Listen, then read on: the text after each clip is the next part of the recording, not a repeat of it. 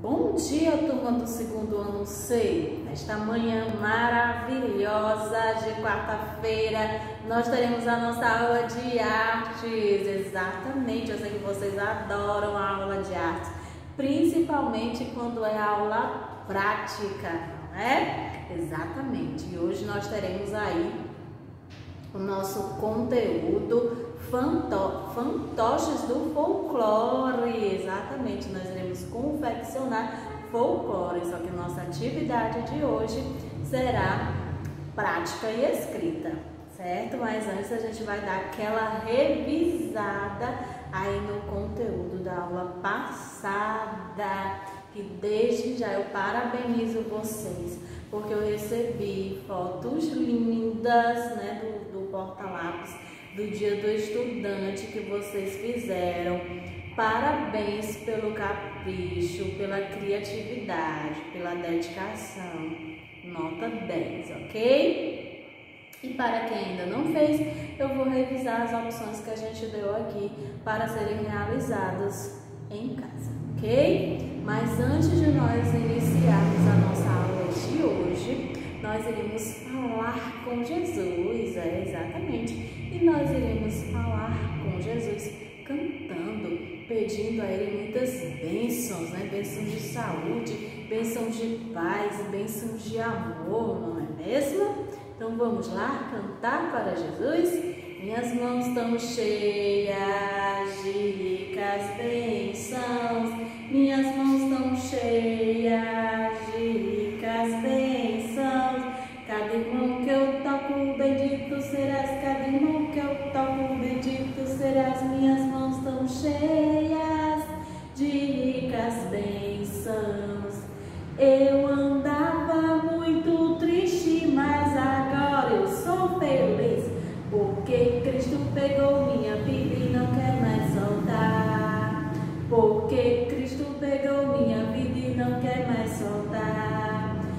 sinto apaixonada, eu me sinto apaixonado por ti. Eu me sinto apaixonada, eu me sinto apaixonado por ti. Eu andava muito triste, mas agora eu sou feliz.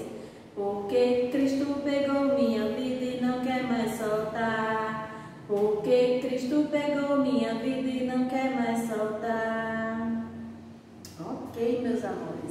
Agora que a gente já falou com Jesus, a gente vai dar aquela revisada aí no conteúdo passado, onde a gente propôs para que vocês fizessem aí um porta-lápis para o dia do estudante, exatamente.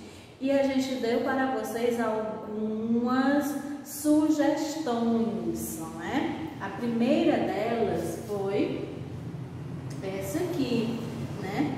Onde para fazer esse porta-lápis, é, você teria que usar o rolinho de papel higiênico, né? Pedaços de EVA para cobrir o rolinho de papel higiênico, utilizar cola, né, isopor, e você iria decorar de acordo com seus critérios, certo? Então a primeira opção que a gente deu para vocês foi essa aqui, para quem ainda não fez essa atividade, né? Foi essa aqui, onde o rolinho de papel higiênico ele foi colorido é, com tinta guache onde foi utilizado aqui elástico e EVA para fazer aqui os pentágonos para enfeitar o porta-lápis. A outra opção foi esse aqui, feito é, com tecido, ok? E a última, que foi a que a gente escolheu para fazer, foi essa aqui, onde a gente é, cobriu né, com EVA, colocou aqui os enfeites e fez a parte de baixo, né, que foi esse aqui, a gente modificou né, algumas coisas, como eu falei, a parte de enfeitar fica a seu critério, né? Olha só, ficou desse jeito aqui, certo? mas vocês podem fazerem aí de acordo com o gosto de vocês, certo? Que eu utilizei o EVA toalha, né, atoalhado, o EVA glitter, usei aqui lantejoulas em formato de rosas, né, e utilizei para a base EVA de cor vermelho. Uhum. Então, é, esse foi a atividade passada e agora nós iremos adentrar ao assunto da nossa aula de hoje, que é sobre fantoches do folclore. Mas já que nós iremos fazer fantoches do folclore, é preciso saber o que é o folclore. Então vamos lá? Saber o que é o folclore junto com a professora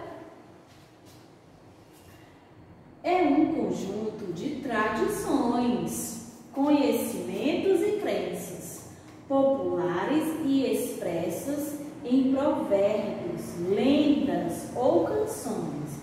Todos os conhecimentos do povo conservados através do tempo, incluindo ainda hábitos, brincadeiras e enfeites são considerados folclore. O folclore é tão que desde 1965 há um dia especial para ele em nosso calendário, 22 de agosto, dia que é comemorado o Dia do Folclore. Então, podemos definir o folclore como um conjunto de mitos, lendas que as pessoas passam de geração para geração, não é mesmo? Muitos nascem da pura imaginação das pessoas, principalmente dos moradores das regiões do interior do Brasil. Muitas destas histórias foram criadas para passar mensagens importantes ou apenas para assustar as pessoas. Folclore pode ser dividido em lendas e mitos. Muitos deles deram origem a festas populares que ocorrem pelos quatro, pelos quatro cantos do país. Ok? Agora a gente vai conhecer aqui as lendas. Vamos lá? As lendas do folclore. O que será as lendas? As lendas são histórias contadas por pessoas e transmitidas oralmente através dos tempos. Misturam fatos reais e históricos com acontecimentos que são frutos da fantasia. As lendas procuraram dar explicação a acontecimentos misteriosos ou sobrenaturais.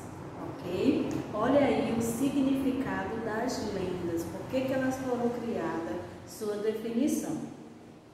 E eu trouxe para vocês um personagem muito conhecido do folclore. Vamos lá. Saci Pererê. Quem aí nunca ouviu falar nesse personagem tão conhecido do folclore, né? Aliás, uma das lendas mais conhecidas. Vamos lá. Saci Pererê. O Saci Pererê é representado por um menino negro que tem apenas uma perna, sempre com seu cachimbo e com um gorro vermelho, que lhe dá poderes mágicos, vive aprontando travessuras e se diverte muito com isso. Adora espantar cavalos, queimar comida e acordar pessoas com gargalhadas. Eita, que menino sapeca! Esse menino se chama Saci Pererê. um personagem de uma das lendas mais conhecidas do nosso folclore brasileiro. Então, olha só, na nossa aula de hoje, nós iremos confeccionar personagens do folclore. Eu trouxe aqui para vocês, ó, um dos personagens bem conhecido, olha, o fantoche, certo? Do Curupira. Olha só o fantoche aqui do Curupira, certo? Trouxe aqui também ó, o personagem da Vitória Régia. Tá vendo aqui, ó? Um dos personagens da lenda da Vitória Régia. Trouxe também ele, olha só, o lobisomem. Quem aí tem medo do lobisomem? Hein? Olha só, é um dos personagens também muito, muito, é um dos personagens mais famosos aí das lendas, né, do folclore, o lobisomem. Nós também temos aqui a mula sem cabeça. Olha aqui a mula sem cabeça. E finalmente ele, Saci Pererê. Ok? Então, eu fiz aqui o fantoche do Saci Pererê, da mula sem cabeça, do lobisomem da Vitória Régia e do Curupira. Então, a gente tem aqui esses personagens do folclore brasileiro. Olha só, olha como ficaram bonitos. Né? Agora a gente vai aprender a fazer esses fantoches, ok? Para fazer esses fantoches, é, foi preciso canudos, ó, esses canudos você é, usa em lanchonete, né, para tomar suco, refrigerante. Então foi pego canudos, também eu utilizei é, cartolina Olha só. Utilizei pedaços de cartolina, ok? Professora, eu não tenho cartolina, eu tenho papel, papel cartão, ótimo. Professora, eu não tenho papel cartão nem cartolina, mas eu tenho EVA, ok. O importante é você ter alguma superfície mais durinha, certo? para colar a figura do seu personagem, certo? Colar as figuras dos personagens do folclore, ok? Então, ó,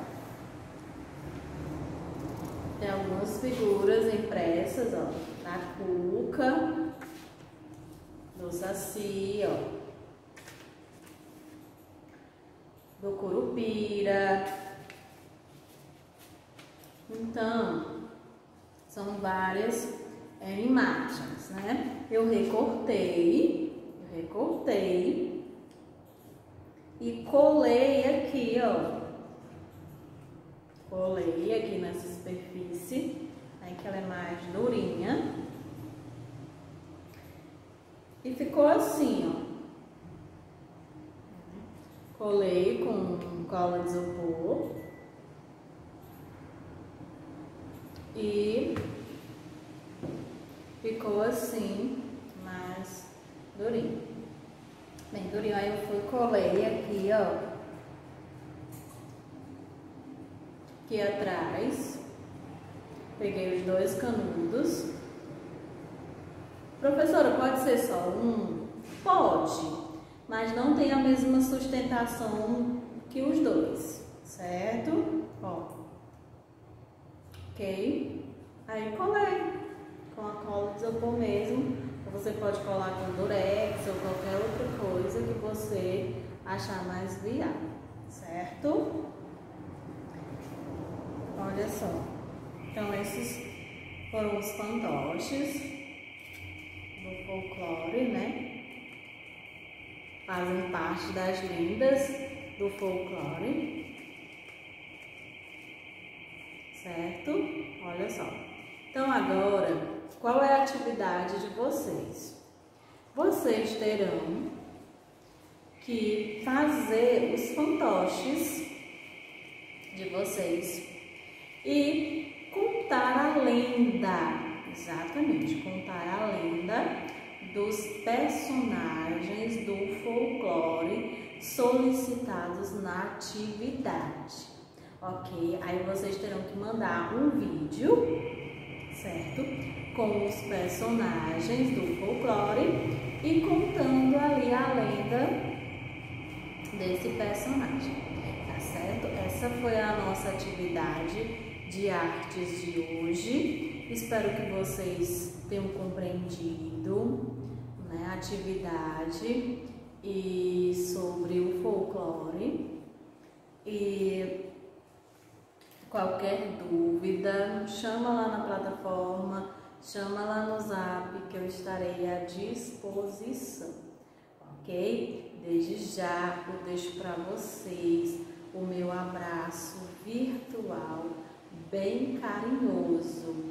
Não esqueçam, eu quero essa atividade feita no capricho, ok? Eu quero esses fantoches lindos e eu quero essa contação das lindas do cada personagem solicitado na atividade, certo?